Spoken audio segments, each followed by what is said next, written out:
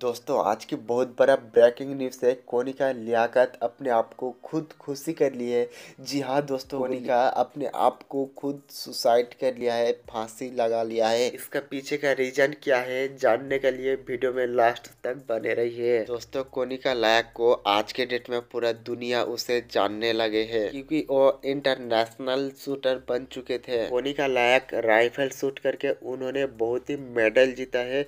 और यहाँ तक कि उन्होंने साथ साथ इंडिया का बहुत नाम रोशन किया है। इन्होंने इंटरनेशनल तक खेल के इंडिया का नाम रोशन किया है। लोग और भी इसे तब से जानने लगे जब सोनू सूद इसे राइफल देकर मदद किया था। कोनिका ने ट्विटर में ट्वीट किया था सोनू सर को राइफल पाने के लिए। सोनू सर, एक शर्त में इसे राइफल दिया था।